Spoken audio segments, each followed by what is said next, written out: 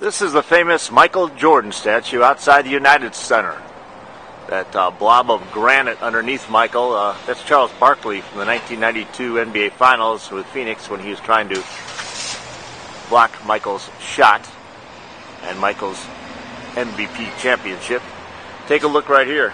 His accomplishments for the Bulls, they go on and on. All-time leading scorer, career leader in assists, career re- leader in rebounds, career leader in steals, and of course among NBA players, five time NBA MVP, six time NBA Finals MVP. No question, the greatest NBA player of all time. But just one of many All Americans at the University of North Carolina. In fact, Kenny Smith, arguably, was a better collegiate basketball player for the Tar Heels than Michael Jordan. If you don't believe me, just ask Kenny.